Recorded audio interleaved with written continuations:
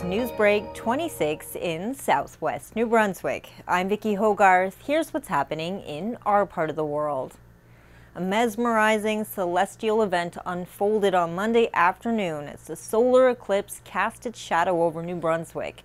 While spectators in the likes of Fredericton, Florenceville, Bristol, and Miramichi were on the path of totality and got to see the total eclipse of the sun, Charlotte County residents enjoyed near-perfect viewing conditions with the moon almost completely covering the sun around 4.30 p.m.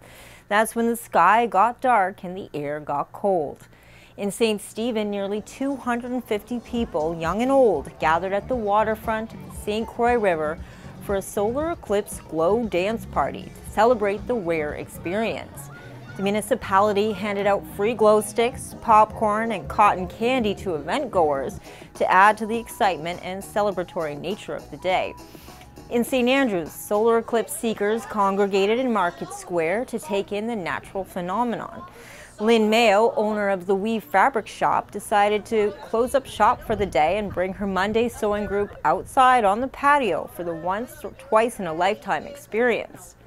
Well, on Mondays we actually have open sews here at the fabric shop, so it happened to fall on the same day, but the ladies insisted on still sewing today, so we've popped outside to take a look.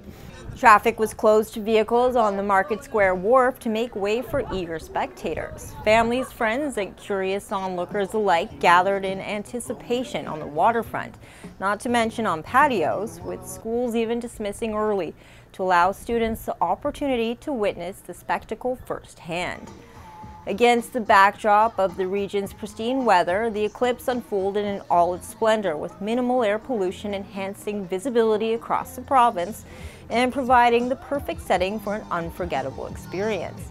And while the next total solar eclipse won't grace North America until August 23, 2044, the memories of this celestial phenomenon will surely linger for years to come. The eclipse may have lasted merely minutes, but it was a powerful reminder of the vastness and beauty of our universe, inspiring awe and curiosity in those who witnessed it, and sparking a sense of wonder about the world beyond our own. Finally, Lydia Stubbard, a passionate nine-year-old from St. Stephen, is on a mission to spruce up her community. After successfully hosting a town-wide cleanup of St. Stephen last spring, this year she's rallying all Charlotte County residents to participate in a county-wide cleanup. We're just trying to get people to clean around Charlotte County and just do as much as possible. I just like don't like looking at the garbage and stuff and it makes me sad because it affects this environment the more people that can do it, the more that we can clean up. If you're in the St. Stephen area, Lydia's second annual community cleanup starts at 12.30 p.m. sharp on April 20th, with volunteers meeting at the Border Arena parking lot.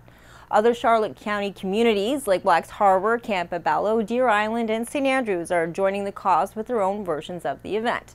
Armed with gloves, garbage bags, and a shared sense of purpose, Charlotte County residents will set out to beautify their community, picking up one piece of litter at a time.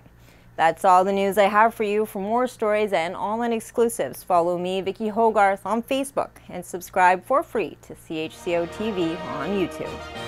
A news and public affairs production of CHCO TV, New Brunswick's only source for independent community television.